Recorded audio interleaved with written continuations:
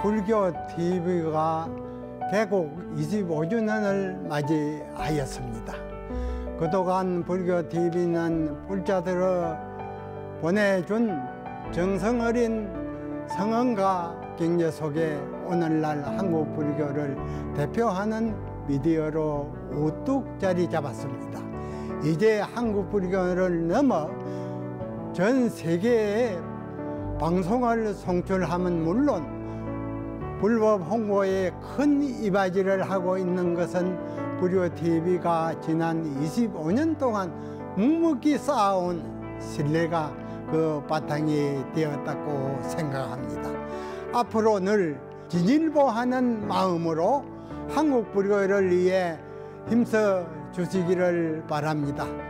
불교 TV 개국 25주년을 진심으로 축하드립니다.